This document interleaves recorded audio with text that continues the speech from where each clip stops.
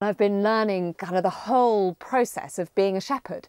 Um, so we started off back in September buying new rams, new breeding stock for the farm, uh, and uh, those two rams then were introduced to the ewes, um, and I had to get the ewes ready. And, and, and I said to Jim, the farmer that I've been working with, I said, "So, what are we doing? Kind of giving them a pedicure and a Brazilian?" And he looked at me and went, "Are you mad?" But that is exactly what we did. You know, any sore feet, we had to trim their hooves and we had to uh, clip around their tails so that they were all pristine and clean and ready to to meet the rams, looking at their best.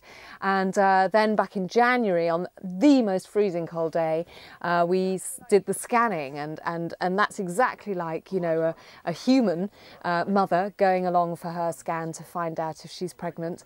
Uh, we were scanning 300 ewes. Um, to see whether the rams had done their job, and uh, they really had. We found out that 200 of the ewes are expecting twins, 50 are expecting triplets, and 50 are expecting single lambs. So, and this could all happen, uh, you know, any minute really from now. And um, and what we're hoping to do is is to basically give the the viewers a, a real um, sort of ringside seat of of this miraculous uh, experience looks a bit like me, really, doesn't he? Look at that.